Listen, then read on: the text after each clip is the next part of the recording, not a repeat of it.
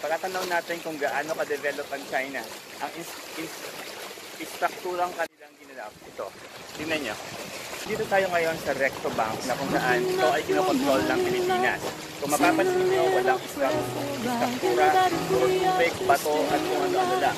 Pero sa kabilang isla, kung mapapansin nyo, yan ang isla na inokupahan ng China. Isang develop at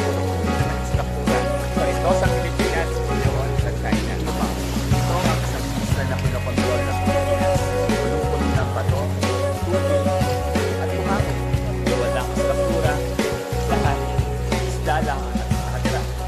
Ngunit wala ilang isang kilometro lang ang pagitan ay ang isla na kinokontrol ng China. Pagmasdan nyo ang kaibahan. Yan. Hindi po ito. Yan po. Yan ang isla na kinokontrol ng China na kung saan ito ay developed. Maraming mga bahay, hotel, at ginawa na rin itong resort.